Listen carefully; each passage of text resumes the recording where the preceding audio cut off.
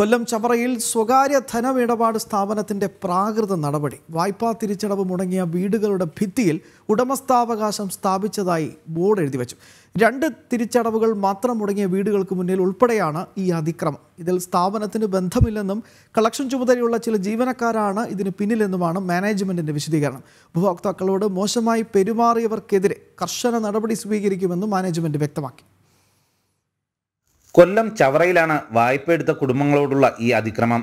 തിരിച്ചടവ് മുടങ്ങിയ വീടുകൾക്ക് മുന്നിൽ കൈവശാവകാശം സ്ഥാപിച്ചതായോ ജപ്തി നടപടിയിലേക്ക് പോകുമെന്നോ ഉള്ള എഴുത്തുകളും നോട്ടീസുകളുമാണ് പതിച്ചത്. വീടുകളുടെ മുൻവശത്തെ ചുവരുകളിൽ സ്പ്രേ പെയിന്റ് ഉപയോഗിച്ച് വലിയ അക്ഷരത്തിലാണ് എഴുത്തുകൾ. ദീർഘകാലം തിരിച്ചടവ് മുടങ്ങുമ്പോഴാണ് ജപ്തി നടപടിയിലേക്ക് ബാങ്കുകൾ കടക്കുക. എന്നാൽ ഇവിടെ രണ്ടടവ് മുടങ്ങിയവരുടെ വീടുകൾക്ക് മുന്നിൽ വരെ അപമാനിക്കും വിധം ചൂരെടുത്തുണ്ടായി. ലോൺ ആദ്യത്തെ ഒരു മാസം പെൻഡിങ് വന്നപ്പോൾ തന്നെ ഞാൻ പറഞ്ഞു ഹസ്ബൻഡിന്റെ ജോലി പോയി ഇതണക്ക് അടയ്ക്കാം എന്ന് പറഞ്ഞപ്പോൾ അവർ പിറ്റേ മാസം കൊണ്ട് നോട്ടീസ് ഒട്ടിച്ച് രണ്ടാം മൂന്നാമത്തെ മാസം പ്ലസ് പേ പെൻഡിങ് ചെയ്ത് വെച്ചത്.